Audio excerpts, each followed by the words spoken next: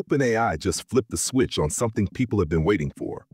Full MCP tool support in ChatGPT's developer mode. And this isn't just another upgrade. It's the moment ChatGPT stops being a Q&A assistant and starts acting like a real control center. At the same time, ByteDance is taking aim at Google's Nano Banana with a faster, cheaper model. Deep Agent is letting creators spin up apps with payments wired in minutes. Adobe just dropped enterprise-grade AI agents into its cloud stack. And Claude? It can now edit Word, Excel, PowerPoint, and PDFs without you even opening them. The pace of AI updates is insane. Let's dive in. OpenAI, because this is the one that changes how you actually use ChatGPT. Developer mode now ships with full MCP tool support. In practice, that means you're no longer limited to pulling information from systems. You can push changes into them. Imagine updating a JIRA ticket, firing off a Zapier workflow, tweaking a CRM entry, or chaining services together into real workflows without ever leaving chat. It's rolling out in beta for Plus and Pro users on the web, and setup is surprisingly simple. Head into Settings, Connectors, Advanced, flip on Developer Mode. From there, plug in your own MCP servers inside the Connectors tab, and they appear directly in the ChatGPT Composer. The mechanics? ChatGPT talks to those servers using protocols like SSE and streaming HTTP, with OAuth if authentication is required. You can toggle tools on or off per connector, refresh them whenever your server updates, and keep everything in sync. The real breakthrough, though, is write access. ChatGPT can use any tool your connector exposes, not just fetch or search, but actual modifications. That makes prompting critical. If multiple connectors overlap, you'll want to tell ChatGPT which one is the source of truth. If two tools look alike, be explicit about which to use. You can even define sequences step by step. First read the repo file, then write the modified version back, and ignore everything else. To help with this, the descriptions you give your MCP tools really matter. Clear, action-oriented notes like use this to update customer records make ChatGPT smarter at picking the right one. Because this is write access, OpenAI added strong guardrails. Every tool call shows the full JSON input and output before it runs, and write actions always need your explicit approval, unless you decide to let it remember. The safety bar is high because prompt injections, slip-ups, or malicious connectors could break things fast. But handled carefully, ChatGPT stops being a static dashboard and becomes an active workflow engine that takes real action in real time. Now ByteDance. Their latest model, Seedream 4.0, just dropped, and the target is obvious. Google's Gemini 2.5 Flash image, nicknamed Nano Banana. ByteDance claims Seedream 4.0 now beats it on internal benchmarks across prompt adherence, alignment, and aesthetics. No formal technical paper yet, so treat that as a claim, not gospel.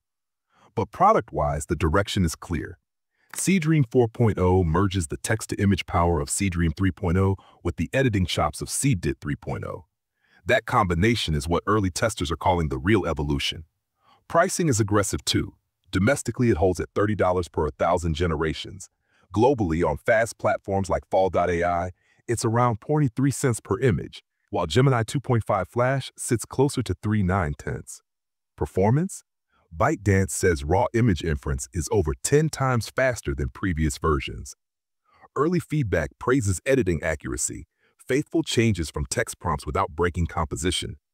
Availability runs through Jimeng and Doubao on the consumer side, Volcano Engine for Enterprise. On public leaderboards, Gemini 2.5 Flash still tops both generation and editing. Seedream 4.0 hasn't been ranked yet. For context, Seedream 3.0 sits fifth for generation and sixth for editing. Meanwhile, the broader Chinese scene is heating up. Kuaishou and Tencent are both pushing. The government now recognizes copyright for AI-generated content and enforces mandatory labeling. Internationally, Vidu rolled out a multi-reference workflow tool that blends up to seven images at about 9 cents each. Gemini allows nine references. So depending on how reference-heavy your workflow is, you've got options. Deep Agent next. This one hits creators, freelancers, and small teams where it matters, getting paid.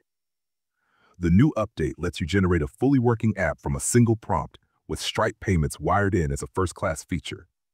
Not just code stubs, live payments, if you've ever integrated Stripe manually, you know the pain. Keys, scopes, environment variables, webhooks, sandboxes, endless documentation. Here, the agent simply asks for the essentials, product names, pricing, what's included, and then scaffolds the entire app with checkout already wired. Link your Stripe account through a secure setup, and from that moment, sales deposit straight into your account. No duct tape in between. The builds it generates don't look like prototypes either. You get a clean site with three funnels ready out of the box, a product page with Stripe checkout, a workshop booking page with payments, and a consultation page that locks payment before anyone hits your calendar. Updates are frictionless too. Want to change pricing, add a product, or run a discount? Say it, and both the Stripe logic and the UI adjust together. And it doesn't stop at storefronts. You can prompt for a mini CRM, a Notion-style workspace with permissions, a marketplace, even a microblog. Payments remain embedded throughout. The team at Abacus.ai is fueling an ecosystem around this with weekly build contests that pay $2,500. The base tier starts around $10 a month. Compare that to months of engineering, full dev teams, and six-figure budgets. It's no wonder someone reportedly launched a paid app live in half an hour.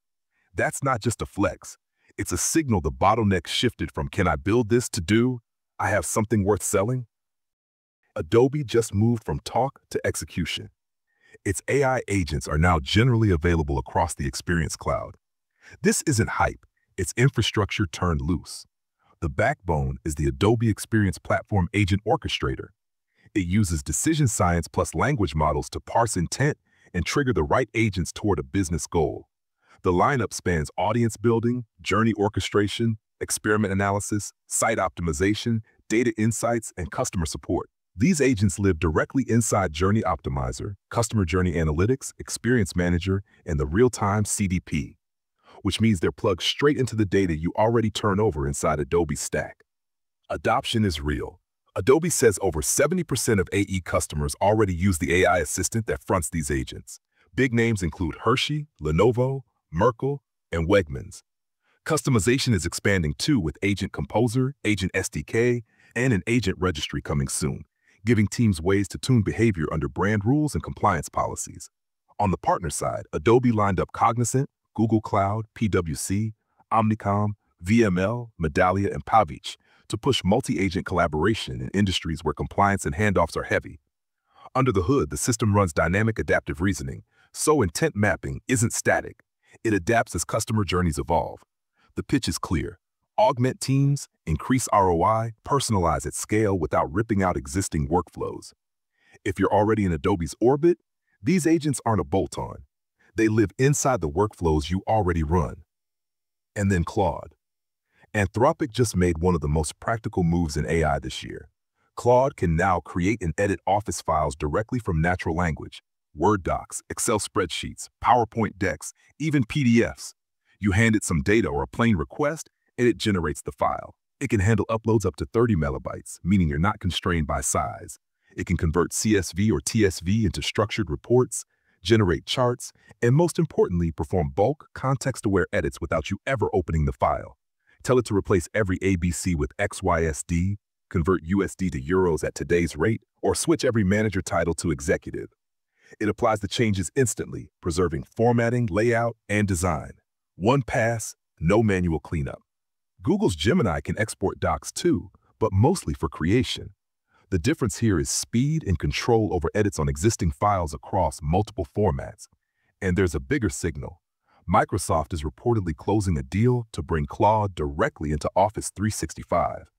If that happens, Anthropic's flow slots natively inside Word, Excel, and PowerPoint, turning Claude from an assistant in another tab into a true operator inside your daily tools. For anyone wrangling reports, decks, or financials, that means offloading the grind. Contextual find and replace, currency adjustments, role normalization, table fixes, without breaking templates. The bigger picture is obvious. That's it for today's updates. Let me know what you think in the comments. Hit like, subscribe for more, and I'll catch you in the next one.